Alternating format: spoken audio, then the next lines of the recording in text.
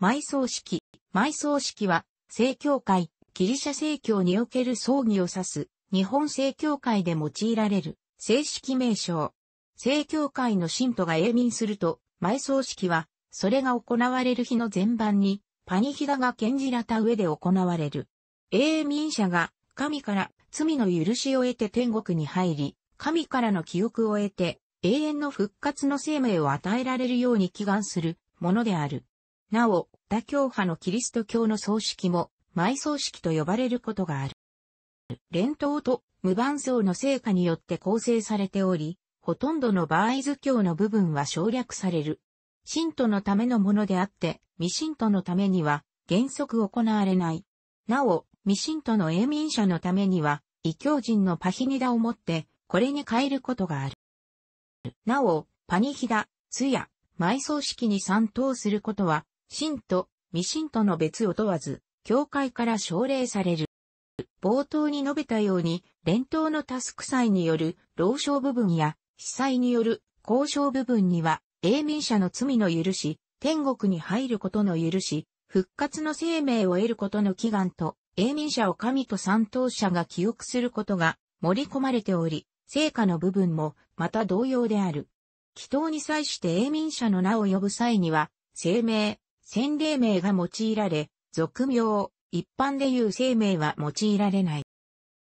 日本正教会をはじめとして多くの教会で埋葬式の祈祷文には省略が行われている。聖こと行に書かれている埋葬式の祈祷次第をすべて省略なしで行うと、すると、パニヒダ同様、2時間から3時間はかかると見込まれる。それゆえ定着している埋葬式は4分の1にも満たない分量で行われ、時間も1時間弱であることがほとんどである。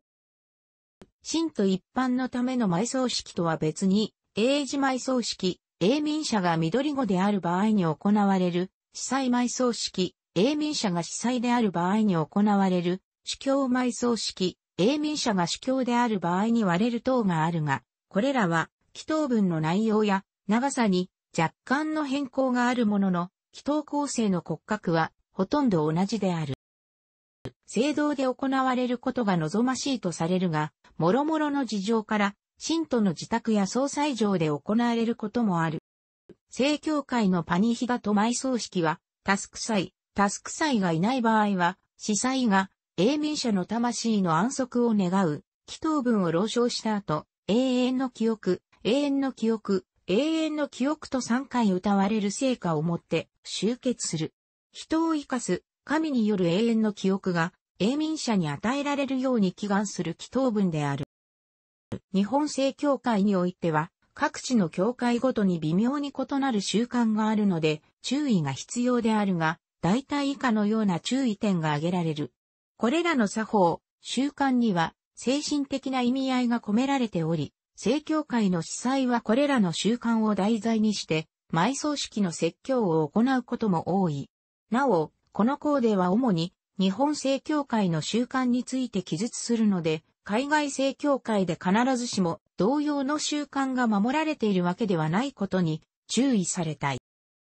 正教会の方針令、礼拝は立って行うことが基本である。起立する姿勢は伝統的に復活の生命に預かって立つことを象徴するとされるからである。したがって、司祭、タスク祭、永隊、聖歌隊は、もちろん、参等者も、埋葬式の間は継続して立ち続けることが求められている。ただし無論、身体障害者や高齢の参等者はこの限りではない。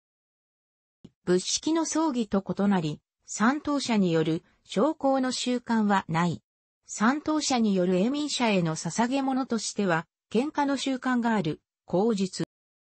ただし、正教会の方針令では、航路は頻繁に用いられる。振り航路と呼ばれる、鎖に下げられた航路を、タスク祭もしくは司祭が振り、ロギと呼ばれる動作を行う。この時の講演は、三等者の祈りを象徴するとされる。航路には入香が用いられ、独特の香りを伴う。正教会でも航路は用いられて、大切な習慣と位置づけられるが、航路を扱うのは、資材とタスク祭であり、参当者が航路に触れることはない。参当者が永民者と対面する際には、棺への喧嘩の習慣がある。埋葬式の後半に喧嘩が行われる。参当者は、係の者から受け取った花を、棺の中に入れる。この時、聖歌が歌われていることが多い。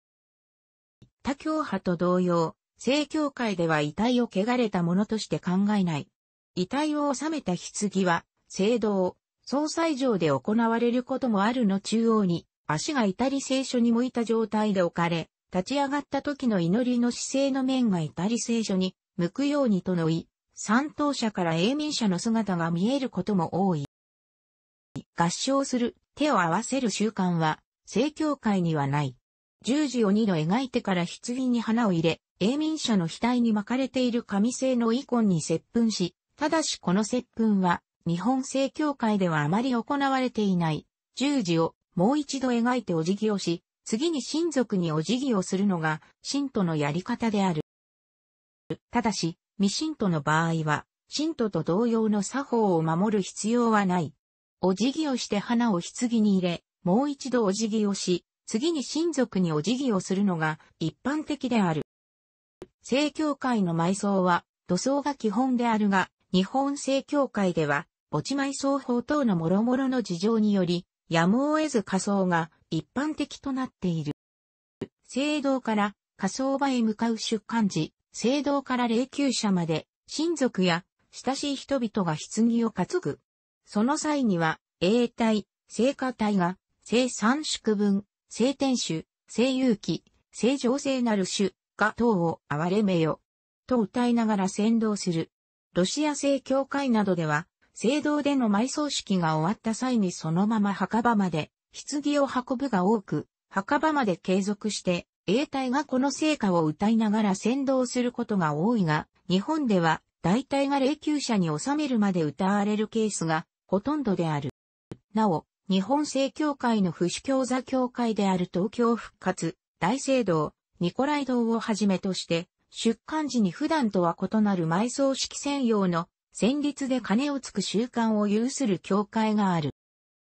埋葬式と仮装が終わると、パニヒダと呼ばれる法事が行われる、パニヒダの集結部から抜き出したリティアと呼ばれる短い形式に変えられることもある。仮装が終わった直後にも行われることが多い。また、教会で奨励される時期に適宜パニヒガを行うことが進められている。楽しくご覧になりましたら購読と良いです。クリックしてください。